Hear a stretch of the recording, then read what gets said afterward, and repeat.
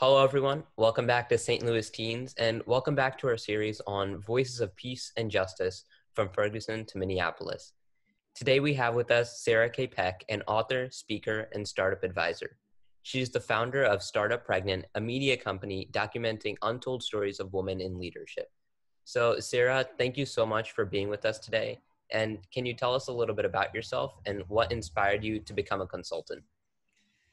Yeah, sure. Happy to. Um, I was born in Germany. I grew up in California. Uh, I now write a lot on the internet. I am working on a book, and I live now. I live in New York City with my husband and two little boys. They're one and a half and four years old. Trying to think what inspired me to become a consultant.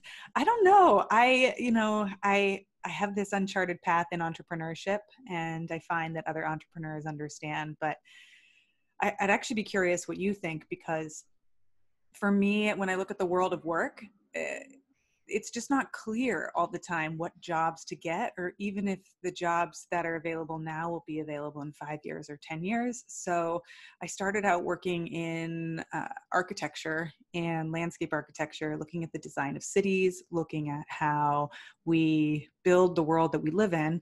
And uh, from there when i was working it was 2008 right around when facebook and social media was really taking off and so I ended up helping companies figure out how to use social media to get better at business.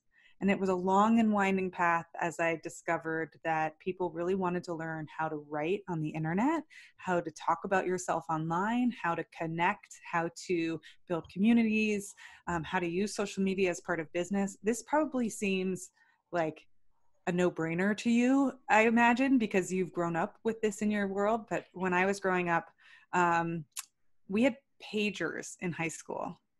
So we had beepers. Like I remember my junior year of high school, we had a beeper. Um, and then I got a cell phone and like a desktop Apple computer in college. And my last year of college is when Facebook started. So it's been a wild transition and there's still so much that like tried and true businesses are learning about how to do this kind of work. So I identify as a writer and then I, I teach and I speak on the intersection of entrepreneurship and parenting. And could you share with us your favorite part about the work that you do? Oh, you know, I get so inspired when I talk to parents, especially mothers, but also like dads and co parents and non traditional parents, like whatever the new family looks like. I get so inspired when I talk to different people because there's there's kind of the dominant voice in any culture about what something is supposed to look like like when you think of oh you know this is you know women are supposed to become mothers or mothers are supposed to look like this or everyone's supposed to love having children. I mean no children are sometimes a pain in the butt. They're really they're a lot of work and and i just really like talking to people and telling the truth telling uh, your truth whatever that looks like and there's no way we can all be the same. Uh, some people may absolutely adore babies, and other people may think they're just boring poop factories. Some people may absolutely love five year olds, and other people like may thrive at the middle school level. So I just love talking to parents about what their real experience is like, what they wish would change, what they wish more people understood. And I get to, I have a podcast. Uh, I have two, three podcasts now. I get to talk to people every week and I love having conversations. I'm so thankful that you brought me here to chat with you. Um, it just it feels like it feels like a really lucky thing and surreal that this is part of my job. And during these difficult times of racial unrest, we have seen our community come together in several different ways. And we really appreciate you taking the lead and, first of all, talking about the problem and writing this really powerful article, which talks to the millions of Americans who have good intentions to help, but are, you know, rather unsure of what they can be doing. So, what motivated you to write this article? You know, this is there's a lot happening in America right now. So we're recording this June 2020. There's a like it is incredible to watch all 50 states have people that are rising up to protest against centuries long injustice. Uh, we have so much work to do when it comes to fighting for equality and justice. And I lend my voice when I think that it will help influence someone or inspire someone to think a little bit differently. I really love talking about things that um, don't seem obvious yet to some people, where I can maybe explain it in a story that helps them understand something. But this is not new, right? This is right. this is not something that just started a month ago.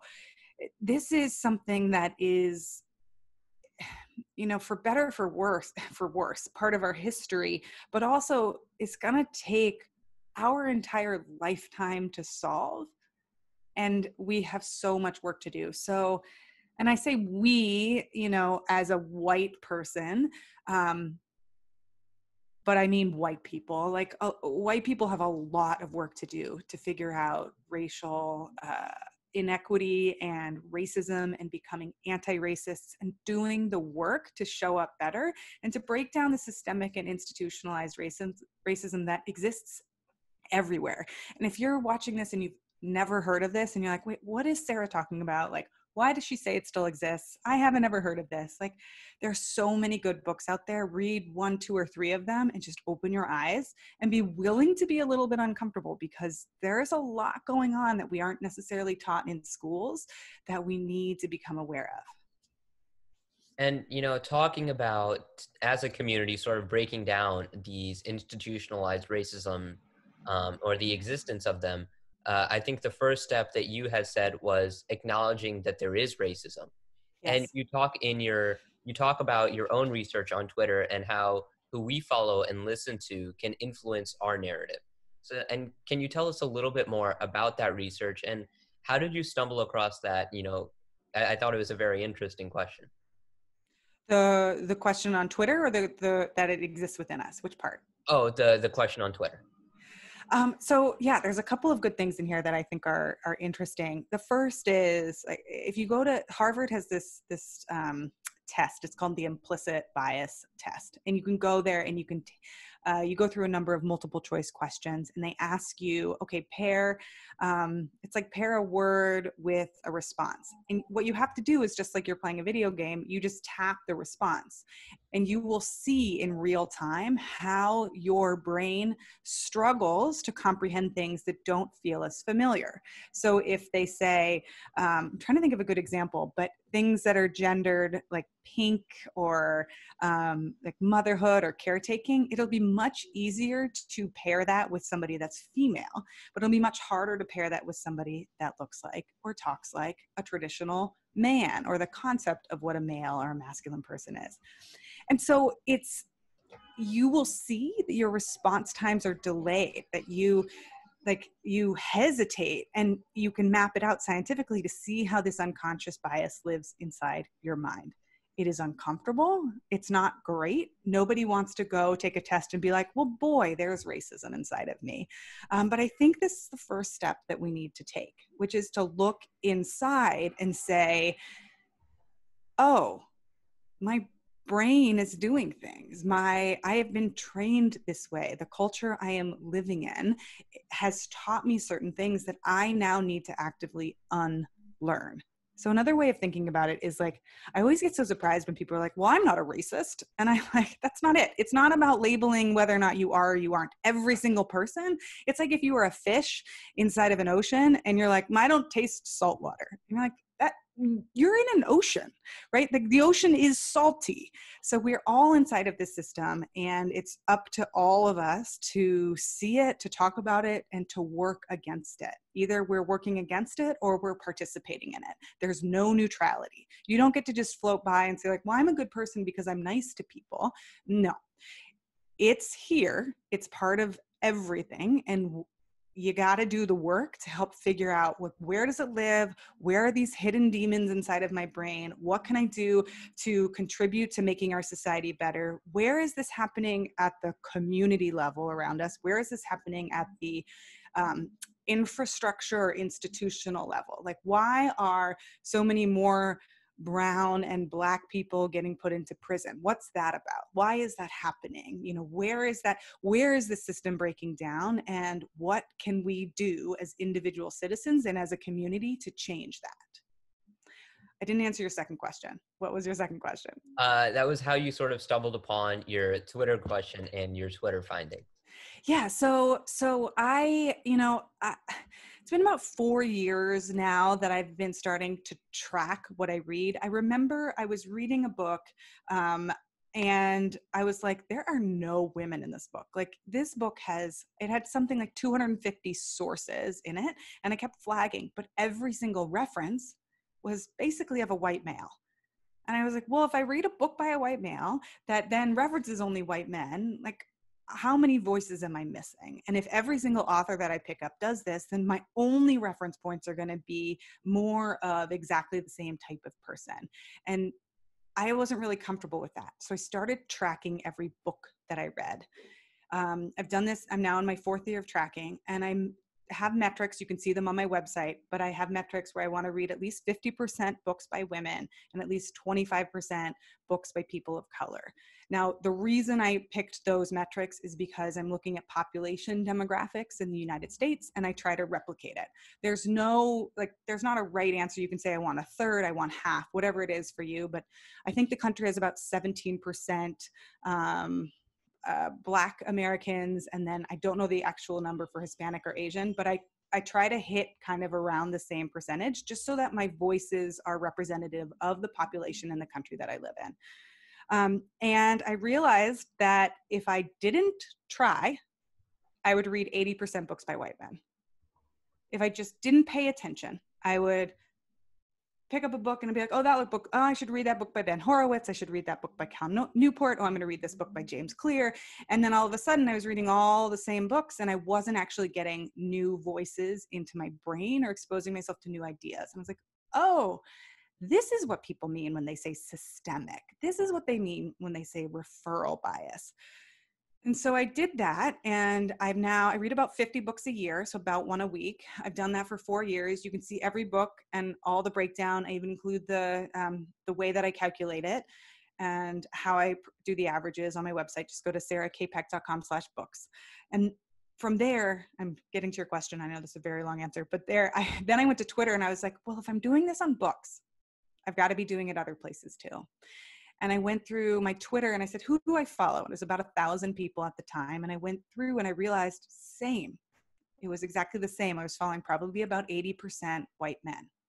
Now, those of you listening, there's nothing wrong with white men necessarily maybe there is who knows um, but like as a category we don't say this is you know bad about this group or that group we can't make generalizations about massive groups of people but as a demographic, if I'm only listening to voices that look like this, 80 to 90% of my listening, well, that's not, something's wrong. I need to be listening to more women. I need to be, like, women shouldn't be silent and people of color shouldn't be expected to be silent. Like, they, they and we have very interesting things to say.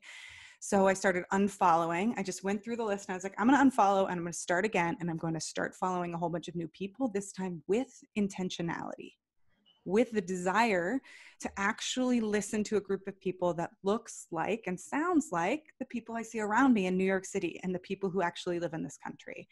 So that's a long answer to your question. But I think this is an example for people who are listening if you think i'm not like this isn't this doesn't apply to me I don't I, like I'm not actively racist. I don't have bad intentions. That's not enough. You actually have to put intention and action into what you're doing. And that can be in doing something like looking at your Twitter. Who are you following? Looking at your Facebook. What does your friend group look like? Do you only have one person of color that's in your friend group? That's a problem, right? Look at your podcast player. Are you listening to all one type of person? You know, just start to go out and do the work of branching out and listening to new voices. You'll get so many good new ideas. You'll be exposed to things that you maybe don't normally stumble across in your average car trip to your local Starbucks or whatever you're doing. And I mean, it just it makes us smarter, it makes us richer, it makes us kinder, it makes us more interesting as people, and it makes us have more compassion, I think, for other people as well, because we're no longer treating people as other groups, but as more of this like massive, interesting population of people that we have, at least in the United States, but also in the world. And I, I think that that perspective is something that's definitely very interesting and important. I know that, you know, I personally um, can say that I, I definitely never really saw it from that sort of perspective or put in that intention. But I think it's important that, you know, we all, you know, put in that intention right now and try our best to, you know, make sure we mimic our actual nation as it is. Uh, I, I did want to sort of go back to something that you had mentioned earlier about, you know, talking about the one or the very first thing you had mentioned on this topic was, you know, the books that you were reading and the mm-hmm. authors. Uh, I, I know it can be difficult, but if you had to pick one book um, as your favorite book that has sort of moved you the most, which one would you pick? It's such a hard question, and I, and I know I should I should have like thought of something in advance because I I don't know I love books and books I feel like books speak to you at different times in your life. Sometimes I've had a favorite book and then I go back to read it and it doesn't do the same thing for me because I'm a different person later on. Um, but one of my, there's so many, but uh, Man's Search for Meaning by Viktor Frankl is a really powerful book um, about uh, the tenacity of the human spirit. And um, Pema Chodron's book called uh, When Things Fall Apart for when things are absolutely wretched and it feels like everything is crumbling down. Those are two books that have been really, really important to me um, personally because, I mean, I'm just going to assume that everybody watching this is a human, right? We're human and we experience sorrow and pain and sadness and loss. Like, whether it's somebody close to us that's dying or a dream that's taken away or a something we've poured our energy and effort into that doesn't work, or the unfairness of so many things and the cruelty that can be out there. It's really hard to find out who you are and how to get through it. So those two books have have meant a lot to me as I go through this this life. And you do talk a lot about having a comfortable conversation about racism and that that is also something that's really important. I think that you know it's true that for a lot of people it it can be uncomfortable to bring up that conversation and to talk about that topic. Uh, so how do you think people can best learn the process of at least attempting to have a comfortable conversation about it? So this is a really interesting question and i i, I think like let's compare it to going to the gym. Um, do you work out by the way? Do you like working out? Um um yeah i, I think it's sort of on the line there. I, I I'll be honest, I'm not exactly. I don't usually go to the gym very often, but you know, before sort of sports season, maybe. Um, yeah, yeah, yeah. Okay, so so like uh, the thing for me is like when we go to the gym, I don't think anybody goes there being like, "Hey, I want to feel so good." Like we go to the couch to feel good we go to the couch, we eat chips, and we watch TV. Why? To feel comfortable. Um, but when we go to the gym to lift weights, we're not going there being like, yeah, I really hope these weights make me feel super comfortable. Like we go there because the weights are going to stretch us. They're actually going to create micro tears in our muscles and they're going to help us grow. And we are going to get stronger because of it. And we may even experience uh, pleasant feelings afterwards, but I don't think many people during the weightlifting session are like, this is amazing. I love this feeling. So I think the same is true during com- difficult conversations. Like there can be deep satisfaction from having difficult conversations, and you can really grow and stretch yourself as a person.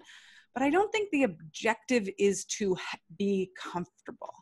The point of having conversations about race and racism and social justice is to achieve social justice and equity, is to dismantle these horrible systems that are killing people on a daily basis. People are dying. Black bodies and brown bodies are suffering, and Asian bodies, and so many different people are dying. Because of racist policies and programs in our country and because of the unconscious beliefs that we all have. So the goal is not for me to feel good, right, as a white person entering into this conversation. And it's definitely not about me being comfortable. And it has nothing to do really with my feelings. And me being uncomfortable is like the bare minimum requirement for having these conversations. And if I'm not comfortable being uncomfortable, then that's actually known as white fragility in a way. It's when people are like, "Ooh, this is too scary. I don't want to have this conversation." To which I say, we are all humans and adults, and having hard conversations is part of what we need to learn how to do in this world. Um, and put your own comfort aside. Recognize that you may be going to the gym.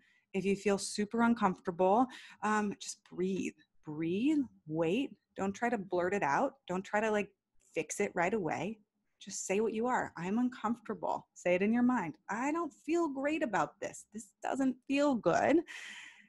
And acknowledge that the person who may be talking to you on the other side may have a lot more pain than your discomfort. That's my two cents. And what are some of the more direct actions that individuals or corporations can take to help and be a part of the solution, as you say? Um, you know, making sure that even though it's uncomfortable, you go, you have those conversations in order to be a part of the solution and sort and try to end the institutionalized racism that has plagued this country for many many centuries. You know this is an interesting question because i i think i think the first thing to know is that there isn't a playbook. There isn't like a 10 step ebook that you can download and be like, and now we're going to end racism by the end of July. Like, we don't have that manual. We don't have that book. Um, I mean, we do have really good resources by people far smarter than me and more informed on this. I'm not an expert on this subject. I am a conversationalist who likes writing, who happens to be passionate about this as well. But um, there's a book called How to Be an Anti Racist that's amazing. There's a book called So You Want to Talk About Race, which is amazing. Like, go read these books first of all but direct actions like i think first no there's no playbook there's you there isn't a right way to do this. So you're by definition, you're then going to get some of it wrong. You're going to try and it's going to be uncomfortable. You're going to get some of it wrong. But know that getting some of it wrong and being uncomfortable is more important than doing nothing because doing nothing is perpetuating the systems that exist. So once you realize the systems that exist are actively oppressing people and that you are complicit, neutrality is not an option. You are either allowing things to continue by which you are perpetuating things that you say you don't believe in, or you're actively working against it. So taking action is important kind of action can you take? Read books, host conversations. Um, ask for and demand new policies in your schools if you see something that's not right. Go to your local town halls, uh, talk to your local police stations, or make sure to vote. Voting is so, so, so, so important, especially voting at the local level. It's not just the presidential election or the Senate or the House that matter, but it's also your local elections that are so important. Figure out who is on the judicial committee who are the mayors who are the people that are creating the system. Have they been in power for a really long time? Have they done things that you agree with? If you disagree with them get out the vote and don't just vote yourself but register other people to vote and make a commitment in a group of 5 or 10 people that you all are going to vote in all of these elections. That would be the first step if you want to go beyond that, there are some wonderful organizations that um, like people might not have a lot of money to donate. I like to donate money because it helps, and I have small children at home, so it helps me help other people. But if you don't have a lot of money, but you do have time, you can do things like get out the vote. Uh, I think crooked.com and oh, what's the website? Crooked.com has something like I think it's called Adopt a State. You'll have to look it up, but you can adopt a state in this upcoming election and you can campaign in Florida or Arizona or Wisconsin. If you live in a state that isn't a battle isn't a battleground state, like I live in New York City, we're a pretty blue state. Like if you live in another state and you're purple or you think that there's a local election or an upcoming election that's important to you, go work on it. It's this is how you have this is one of the ways where you can have your voice heard. And, you know, talking about what people can do, what would your message be for teens around the nation during this time? Yeah. I mean, I want to ask you, what's it like to be a teenager right now? Uh, I, I, I, I would say it's definitely um, a very interesting time. I think, you know, it's been a series of sort of large changes to our nation as a whole um, uh, throughout the entirety of the year. I think that there's a lot of teens who right now feel they want to do something um, and they want to do something about this problem. And I know that I have felt like that as well. Um, but it's not always the easiest to try and figure out, you know, what should I be doing? And I think that the disconnection there is where a lot of teens are right now. Yeah, and and you're maybe not even quite at voting, right? You vote at 18? Yeah, so I can't vote yet, uh, yeah. but there are graduating seniors at my school who are eligible to vote. Yes. So the thing to remember too is that like just because you can't vote yet um, doesn't mean that you can't influence the vote. So one of the biggest things that affects our democracy is that people forget or they don't know how to register. Like voter registration is hugely important and hugely overlooked, but let's say that there is a senior citizen community close to you, or there are groups of people who um, can't actually leave their jobs to go vote. Getting them signed up to be able to vote absentee ballot by mail, it takes a form. So if you can get savvy on the internet and you can walk around your neighborhood and you can participate and get out the vote, you as a 15, 16 or 17 year old can still contribute 10, 20, 30, 100 votes in an election, even if you personally can't vote yet. Sarah, thank you so much for not only taking the initiative to educate our community and to propose solutions, uh, but we also thank you for your service and your time. You'll be able to access Sarah's full article on racism in America by clicking the link in the description below. And finally, thank you, Sarah, uh, once again for your time in answering all of our questions today. Thank you so much for inviting me. It was such a pleasure to talk to you. Feel free to reach out if you have any more questions also.